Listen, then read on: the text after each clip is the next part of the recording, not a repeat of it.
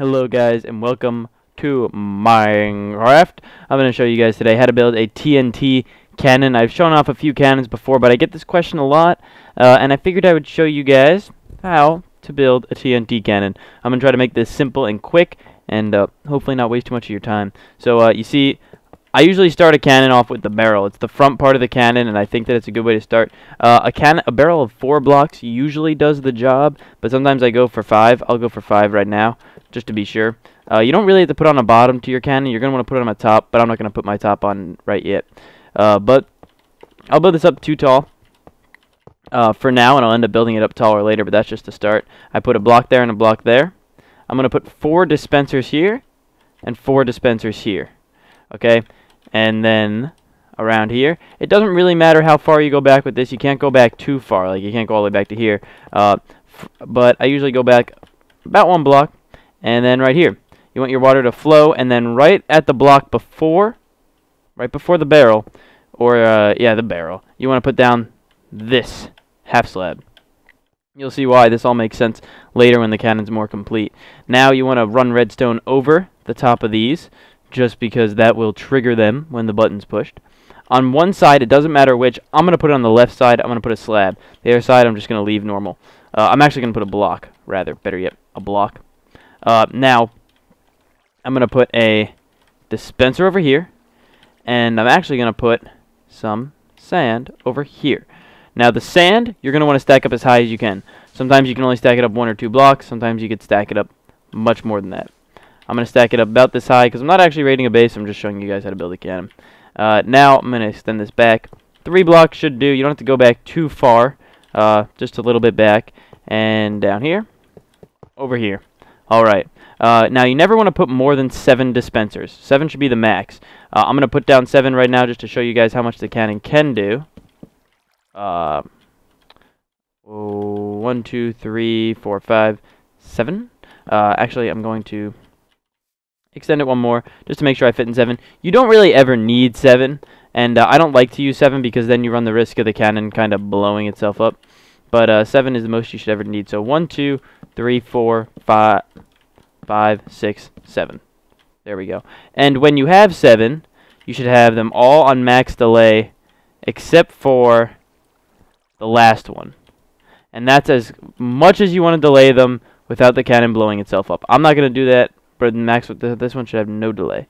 Uh, I'm not going to do that because I don't need that many. You don't really ever need that many. Then at the end of your long chain of repeaters, you're going to put a comparator. And then you want to run redstone all around the comparator so that it kind of loops back into itself. Run redstone up and on top of the dispenser.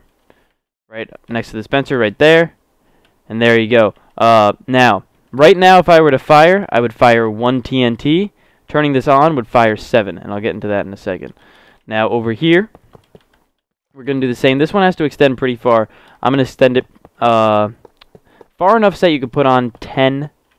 Whoops. Messing up. Misplacing blocks like crazy.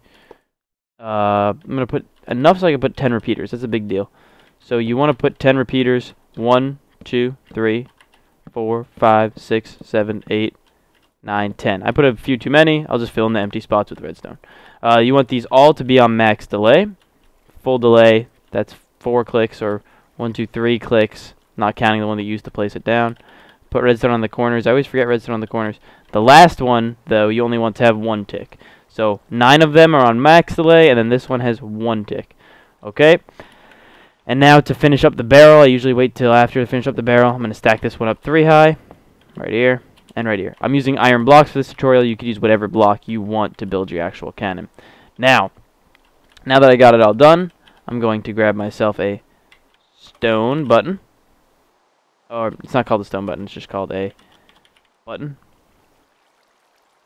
There we go. And TNT. Let's just grab a ton of TNT.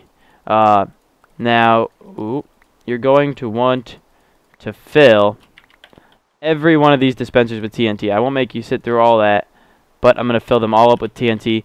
You don't need to put 64 in each. I like to put in a lot, but uh, you don't need to put in 64 in each. I will just put in a little bit in each, or I will put 64 in because I'm in creative.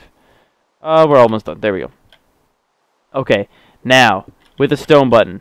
Seeing as this is not pushed, it should shoot one TNT. There goes TNT. There goes sand. Off it goes. Over here, there we go, one TNT. Now this is where using a stone button and using a wooden button differ. So, uh, if we hit this, we're going to see how much TNT it releases. It should release 7. 1, 2, 3, 4, 5, 6. Oh, that might not have been 7.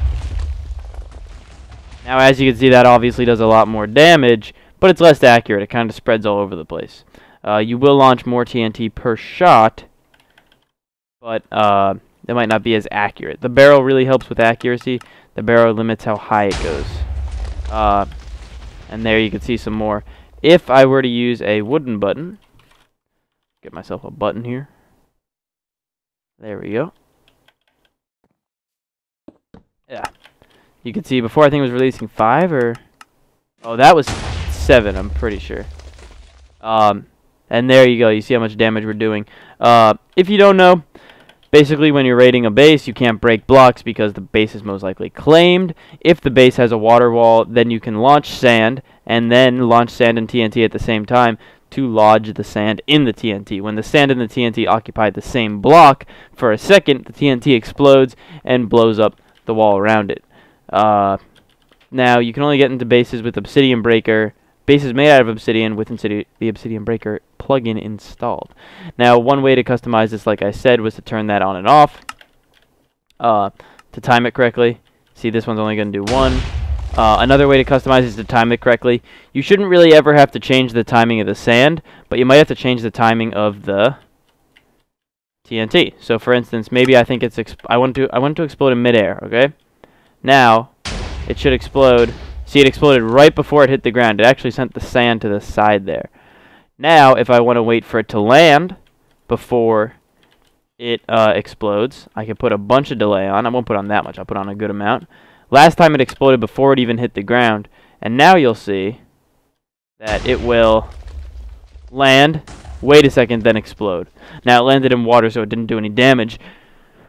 But uh, it took a lot longer to explode. That's one way that you'll need to customize the cannon. You can't really uh, you can't really cannon by yourself. You need someone telling you what to do. Like, for instance, you want someone up at the wall that you're cannoning, like, oh, TNT's landing too soon, TNT la TNT's landing too late and so on.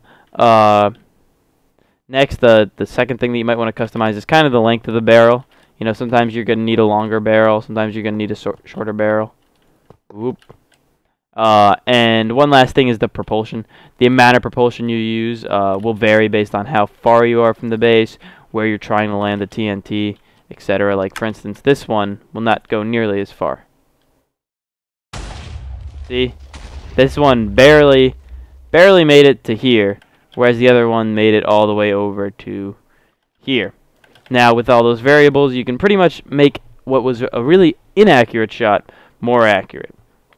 Uh, also, keep in mind that when doing raids, you want to raid north-south. So I'm facing south here. You can see my F3 north. Uh, point your cannons north-south. There's a bug in Minecraft, or maybe it's a functional thing, I don't know, where uh, if you launch sand and TNT, they sometimes separate from each other in midair when you're launching east-west. So be sure to raid north-south.